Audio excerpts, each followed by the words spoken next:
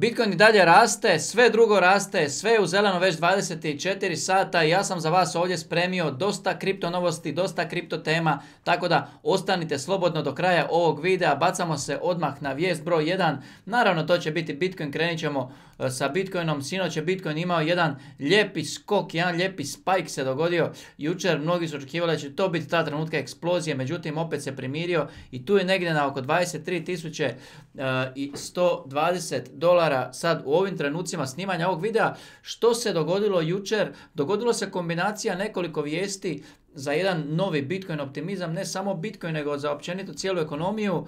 Recimo za Bitcoin je bila jako dobra vijest ta što je u izvješćima za posljednji kvartal prošle godine Tesla objavio znači kompanija od Elon Muska, oni su objavili da nisu prodali niti jedan Bitcoin sa svoga stanja i normalno kripto zajednica je tu reagirala pozitivno, odmah se krenulo malo više ulagati u Bitcoin. Mnogi su očekivali da će možda Tesla prijaviti da je nešto prodavao u ovom posljednjem kvartalu dok se sve rušilo, dok je sve padalo, dok je bila jedna opća depresija, nervoza i stres. Međutim, nije i ta vijest je primljena super u kripto zajednici. Onda danas se dogodio jedan drugi moment a, a to je trenutak e, kad, su iš, kad se išlo u objavljivanje podataka koliki je gospodarski rast u Americi i tako dalje. Mnogi su očekivali da će te brojke biti 2,6, ispalo je 2,9.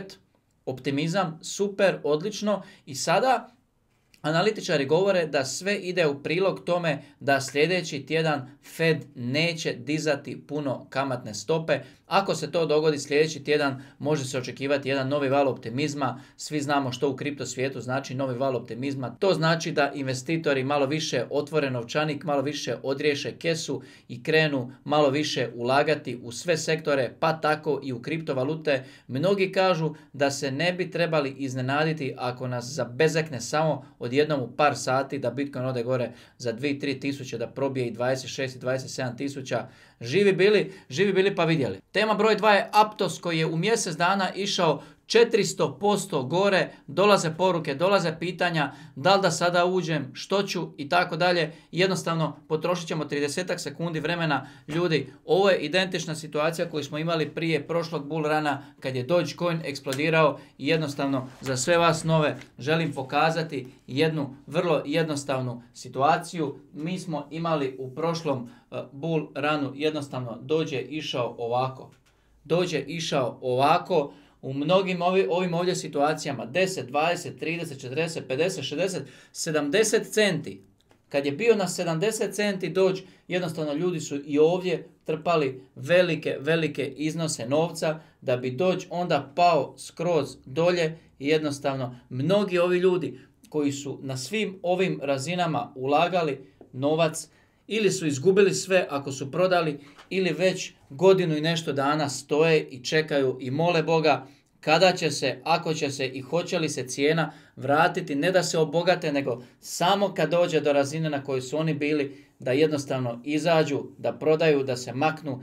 Toliko stresa, toliko nervoze, toliko gubljenja živaca na svim novim razinama koji su ulazili, a kad je cijena pala jednostavno gledaju svoj dođ i jednostavno vide da on ne vrijedi ništa. Sada imamo identičnu situaciju, imamo pumpu strašnih razmjera, 400% u mjesec dana, imamo taj aptos koji ide doslovno ovako. I sad svi postavljaju pitanja da li da ulažemo, da li da ulažemo.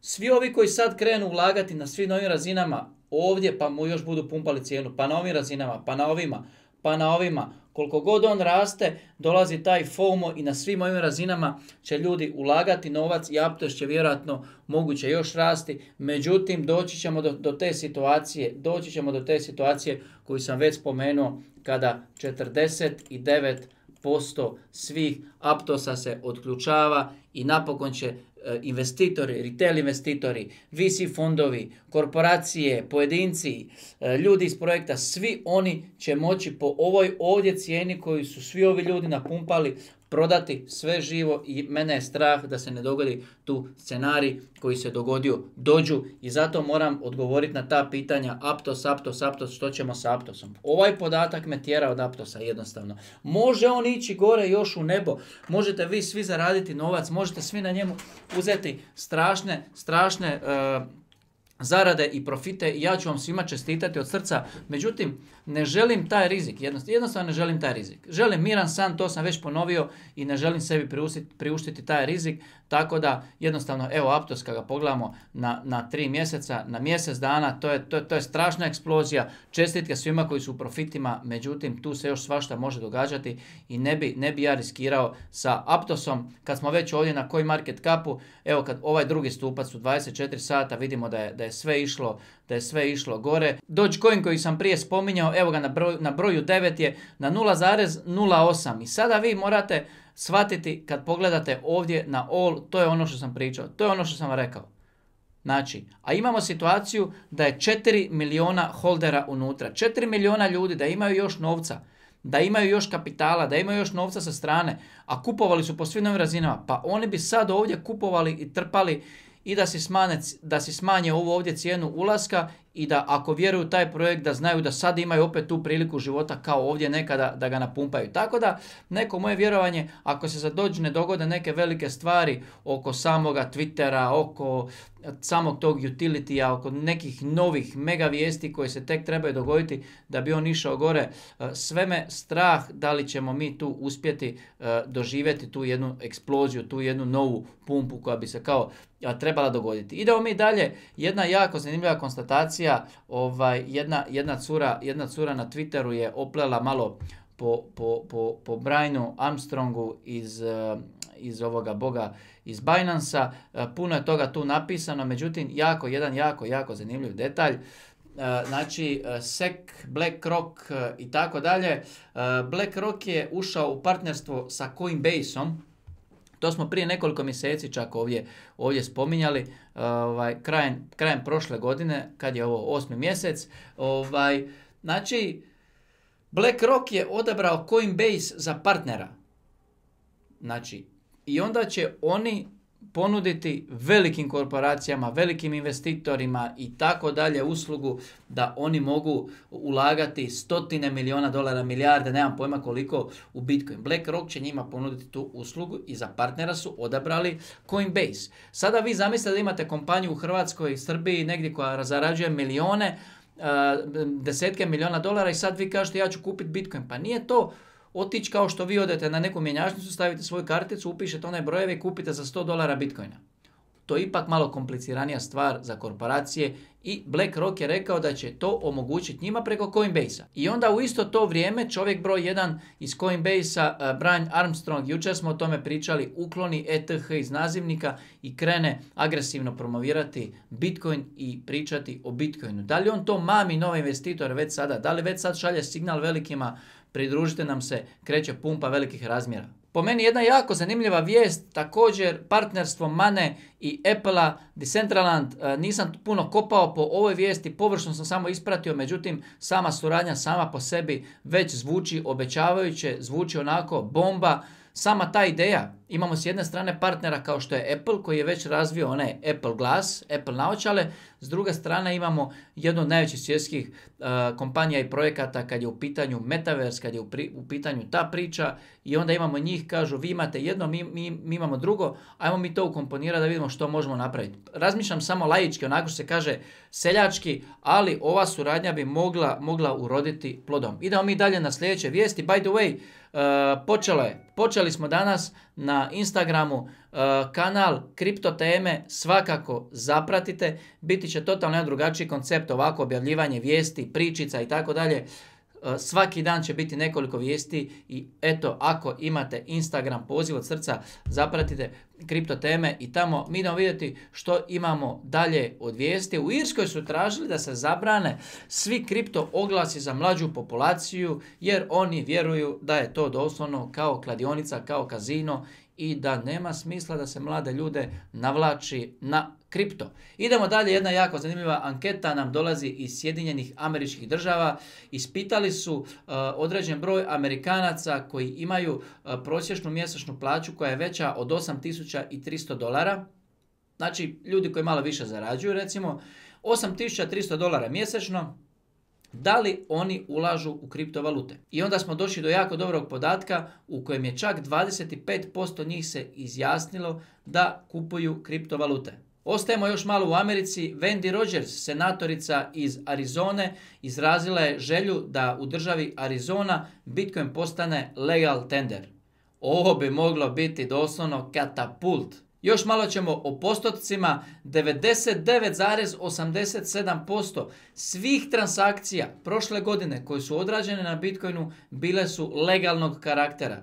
A onda se zapitajte koliko tog se financira u dolaru kad vam netko kaže da Bitcoin služi samo za kriminalne aktivnosti, ali to smo već spominjali ovdje na kanalu, nećemo sada ulaziti u dubinu te priče. Prije nego odemo na anketu od Bitwise-a, svakako poziv svima vama, ako još niste, pretplatite se na ovaj kanal, to vam je potpuno besplatno, puno mi znači vaša podrška za još više ovakvog sadržaja, za još više videa, tako da tu dolje vam je taj neki crveni gumbić, kliknite njega, ako uključite zvonce, YouTube će vam uvijek poslati obavijest kad izađe novi video, a Bitwise je odradio jednu anketu, oni su stavili e, na jedan kup, na jedno mjesto samo financijske stručnjake i financijske savjetnike, ovlaštene financijske savjetnike koji su ovlašteni da daju savjete svojim klijentima, obiteljima, kogod ih, kogod ih plati da ih savjetuju i 60% njih se izjasnilo da je Bitcoin dugoročno vrhunska investicija i da to podržavaju, kratkoročno ne, kažu,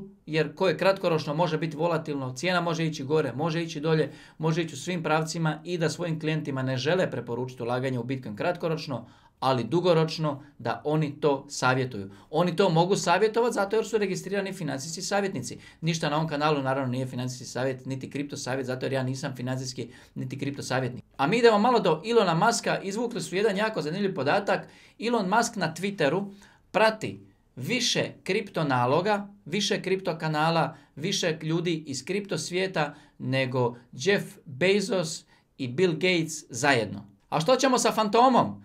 58% rasta u samo 7 dana. Strašan rezultat, strašan skok. Pogledajte na mjesec dana kako on lijepo izgleda sa 20 centi na 48 centi.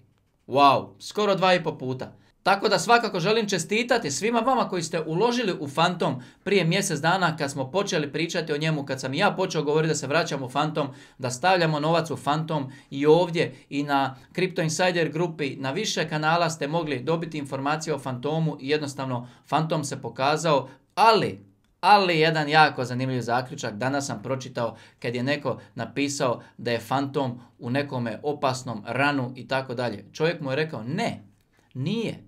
Nije on u nikakvom ranu.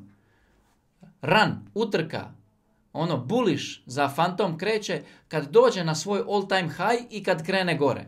Ovo sada je samo jedan dobar recovery i nadamo se da će ići u tom pravcu do onog svog prijašnjeg all time high rezultata. Naravno, pogledat ćemo i kako stojimo sa projektom koji sam obradio u kripto istrazi za sve svoje članove. Znači, taj video mogu vidjeti samo članovi kanala. Čisto me zanima, evo, ovo je ovdje trenutak kad je, kad je izašao video. Evo, do ovog sada ovdje trenutka 22,31% profita imaju svi članovi kanala Kripto Teme koji su članovi koji su tada vidjeli video koji su možda investirali u istom tom trenutku kad su ga pogledali i tako dalje. Ja vjerujem osobno da se neće ovo zaustaviti na ovome ovdje skoku, osobno navijam da ide puno više. Međutim, znate kako se kaže, vrijeme će sve pokazati. Thank you.